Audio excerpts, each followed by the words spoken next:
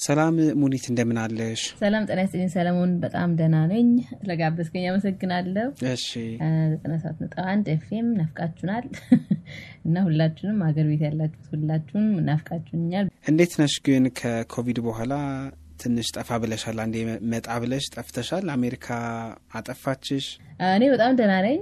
ያው ዘጠኝ ወር በኮቪድ በአሜሪካ ለመድነው። ሁሉን ነገር online በ Zoom ነው የምንሰባሰበው በ Zoom ነው፣ የምንሰራው በ Zoom ነው፣ ሙዚቃ performance ኡ በ Zoom ነው፣ ማስተማሩ በ Zoom ነው። ስለዚህ ያው የ Zoom አካል ሆነናል ማለት ነው።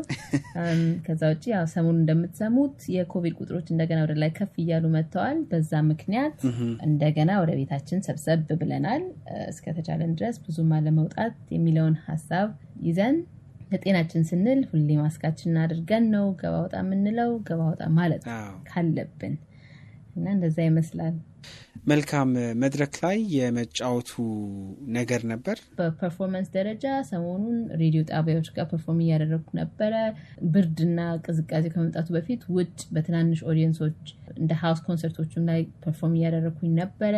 ከዛ ባሻገር ደግሞ research የ early childhood development አካባቢ ላይ research ን ብዙ እየሰራው ነው ያለሁት። በጣም ልጆች አካባቢ እስካለው ድረስ ስለነሱ በደንብ ልማርና ልመራመር በሚል እና መጨረሻ ደግሞ የራሴንም አልበም የሌሎች ከጓደኞቼም ጋር የምንሰራውንም አልበም ላይም እየሰራው እገኛለሁ። ጥሩ ነው። አልቦዘንሽም። በጣም እንግዲህ በል የሚያሰኝ ነው። በቅርቡ እንግዲህ ከተለያዩ ዓለም አቀፍ ከተለያዩ ሀገራት ጋር የተውጣጡ ድምፃያን አንድ ላይ ሆናችሁ የተሳተፋችሁበት አልበም እየሰራችሁ እንደሆነ ሰምቻለሁ። ይህም ሊወጣ ሙከራ ላይ ወይም ደግሞ ዝግጅት እያደረጋችሁ እንደሆነ ሰምቻለሁ እና እስቲ ስለሆነው ከአንቺ እናድምጥ። አዎ ፕሮጀክቱ ፕሮጀክት ሎ ክሬያ ይባላል። ሎ ክሬያ ሲባል ሎ ለ love እና ክሬያ creativity።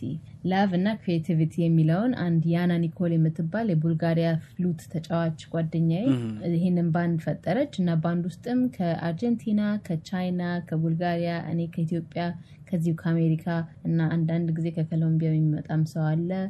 እና የተለያየ ሰዎች ሆነን ከየሀገሮቻችን የሚመጡትን የሙዚቃ ስልቶች፣ ዘፈኖች ወዘተ እነሱ እነሱን አንድ ላይ ሆነን እንደ አንድ ፕሮጀክት ይዘነዋል። ለምሳሌ እኔ አቤት አቤት ልል እችላለሁ፣ ወይም አንድ ልጅ ነበረች ልል እችላለሁ፣ ወይም የከርሞ ሰው ልጫወትላቸው እችላለሁ።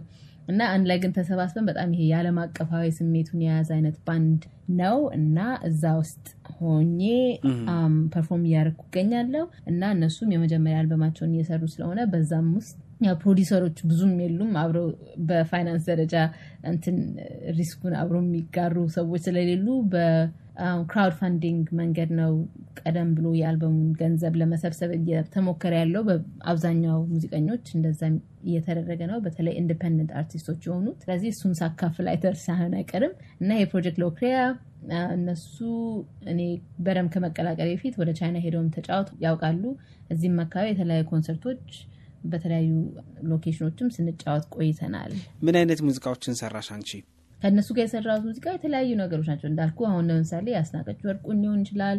አቤት አቤት የሚለውን ለምሳሌ የከርሞ ሰውን ከእነሱ ጋርም ተጫውቻለው። የራሴ ሙዚቃዎችም እንደነ ኖሮ ኖሮ፣ እንደነ ሰላም፣ እንደ Trans Africa Highway። ስለዚህ የኢትዮጵያ የአፍሪካ የ Pan African ስሜቱን ከኔ ነው የሚያገኙት እና እነዚህን አይነት ሙዚቃዎችን ተጫውተናል። ዋናው ነገር የተለያየ ስልትና ድምፅና አይነት ሙዚቃ ለመስራት ነው። እንግዲህ አንድ አልበም አለሽ እዚህ በጣም የሚወደድ ዋናው ያንቺስ አልበም የስቱዲዮ ምን ደረጃ ላይ ነው ያለው? ከምን ደረሰ? የራሴንም አልበም እየሰራው ነው።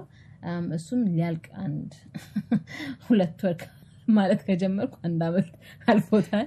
ኮቪድ በደንብ አድርጎ የሆነ እንቅስቃሴን አቀዝቅዞታል።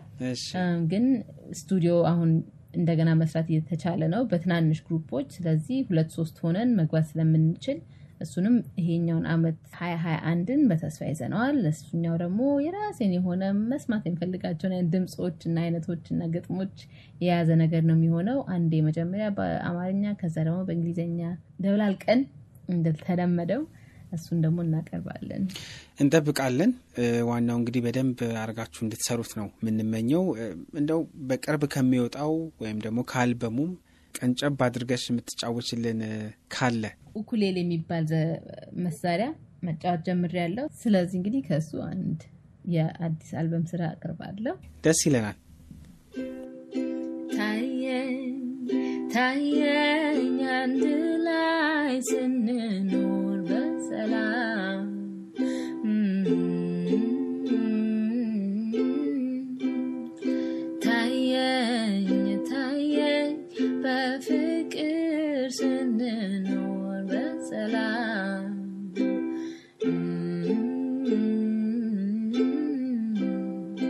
ታየኝ ታየኝ እኔ ላንተ አንተ ለእኔ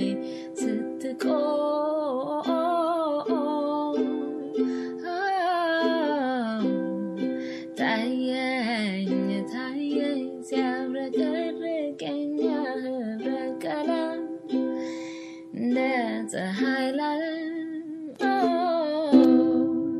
እያለ ያው የሚቀጥለውን part በአልበሙ ጠብቁት። በጣም ጥሩ እንጠብቃለን።